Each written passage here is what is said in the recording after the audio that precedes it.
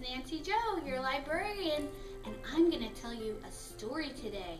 And this story is about the gingerbread man. So I'm going to need your help during the story, okay? There's something I want you to practice saying with me. So I'm going to say it, and then you're going to repeat it, and then we'll all say it together. And then during the story, you'll say it with me. Okay, so I want you to say, run, run, as fast as you can. Run, run, Run as fast as you can. You can't catch me. You can't Can't catch me. I'm the gingerbread man.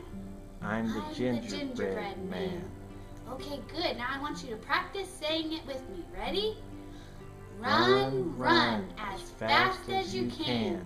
You can't catch me. I'm the gingerbread man. Good job, library friends.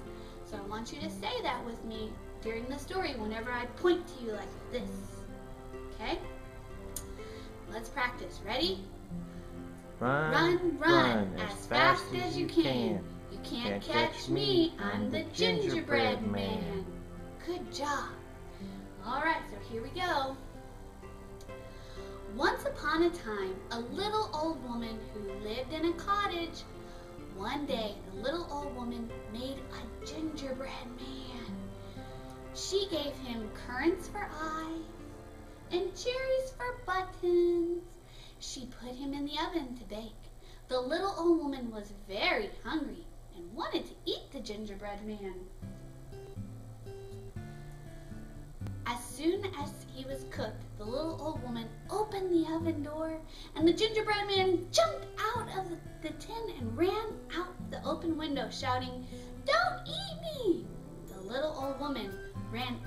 The gingerbread man. Stop! Stop! she yelled.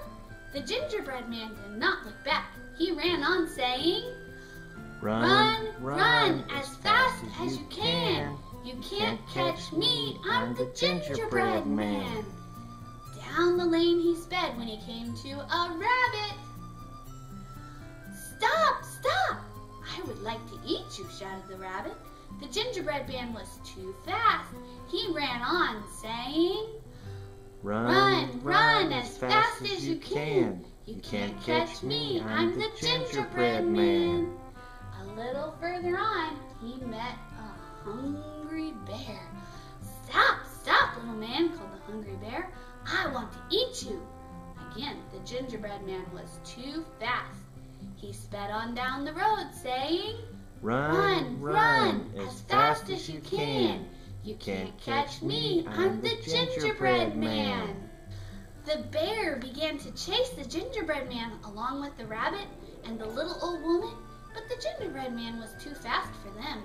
The gingerbread man laughed and laughed until he came to a river. Oh no, he cried, they will catch me. How can I cross the river?